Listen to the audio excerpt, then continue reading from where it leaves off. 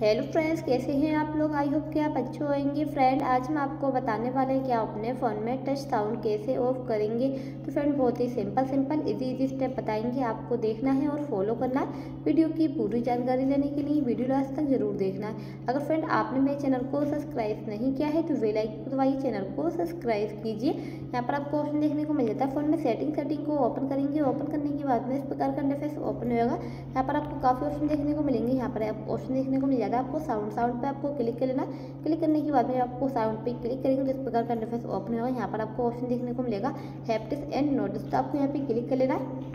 Click करने के बाद में आपको काफ़ी ऑप्शन देखने को मिल जाते हैं। Dial pad notice sound lock screen sound screenshot sound retro sound तो आपको अपने फ़ोन में, जैसे कि टच साउंड ऑफ़ करना तो हमारे पहले से ही टच साउंड ऑफ़ है। अगर आपको ऑन हो आपको तो इस प्रकार अपने फ़ोन में टच साउंड ऑन कर लेंगे ऑफ़ कर लेंगे, जैसे कि और साउंड ऑफ़ करना ऑन करना चाहते हैं तो आप इसे ऑन भी कर सकते हैं। तो इस प्रकार अपने फ़ोन में टच साउंड जैसे कि ऑन है तो इसको ऑफ़ कर लेंगे। तो इस प्रकार अपने फ़ोन में टच साउंड ऑफ़ करेंगे।